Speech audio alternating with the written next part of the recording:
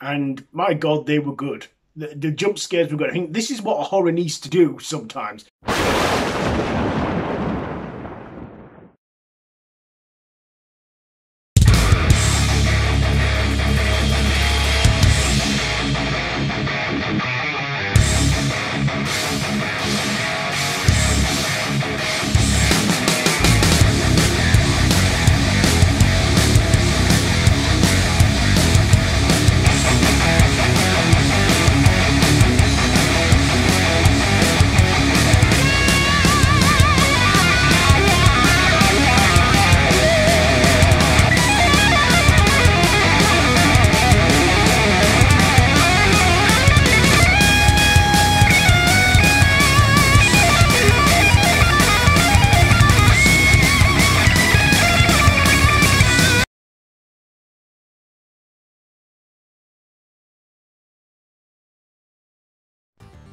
Why, hello there YouTube and welcome back to another episode of 31. So, we are now on day 23 and for that we're in 2012 and for that one I am reviewing the film Sinister.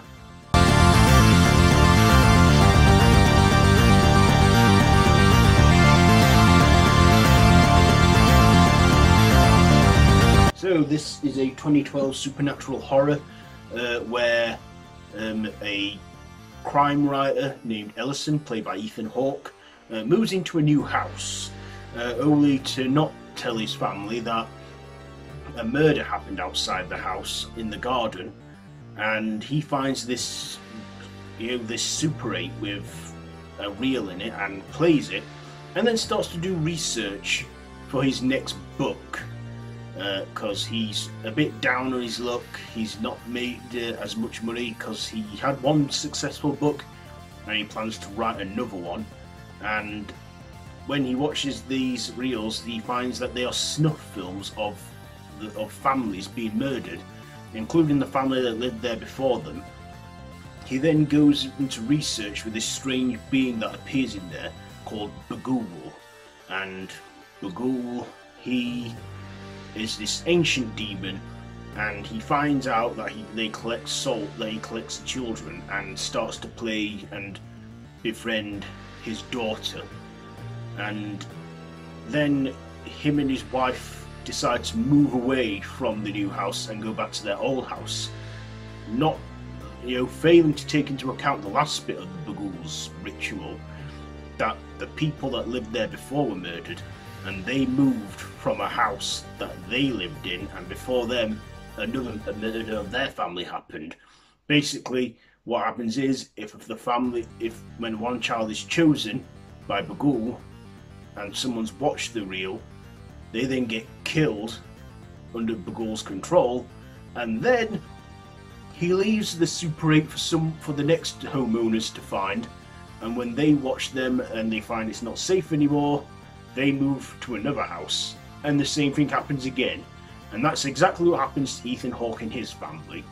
So let's get on to my likes and dislikes. First of all, I like this film. I really, really did. It was a great horror film. This film, I remember going to see this in cinemas, and I remember being on the edge of my seat the whole time, dreading the next jump scare, because there were a ton of jump scares. I mean, like, when I was dreading every second when there was a jump scare coming, and my god, they were good. The, the, jump scares were good. I think this is what a horror needs to do sometimes. It needs to be scared, unexpected, and make you jump. Of course, that was the first time round. The rest of the time, I got, I was like, I saw it coming, and I wasn't as jumpy, or in fact, I didn't find it jumpy at all. They did do a sequel to this Sinister 2, but that just failed to catch the magic of this one that I'm reviewing, and I didn't really jump or at that time because I probably pretty much knew what were coming. Uh, we also get another character in this play uh, called Deputy So and So, played by uh, the guy who played the old. Um, is it no? It's not Richie. Uh, is it? It's not Joe. Benji, who plays the old Benji in It Chapter Two, um, and uh, he was a good support in this. Uh, we also got Vincent D'Onofrio as well, appearing in this as a professor that he Skyped and did research on this demon, so I liked his role in it too.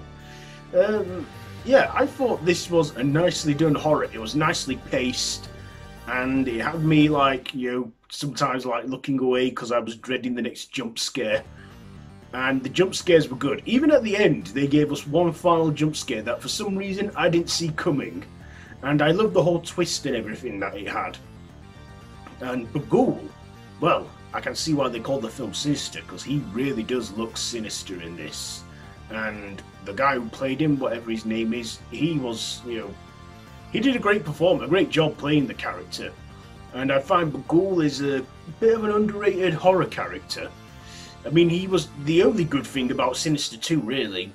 But uh, it's a shame that, you know, I, I think this film works as a one off, you know. I mean, they clearly tried to make it into a franchise, but it didn't work.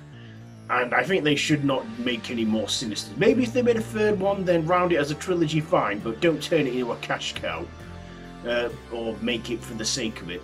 Uh, you know, but I'd have been happy if it just had this one, but it has a, a not so brilliant sequel. But uh, this one is the best, and I can't get enough of it. I enjoy this one a lot. It's just, you know, really dark and gothic and creepy and unsettling and sinister. And I recommend you check this one if you love jump scares or you want to get scared for the fun of it. I will say if you have a heart condition, maybe not, but still, a great horror and I enjoyed it.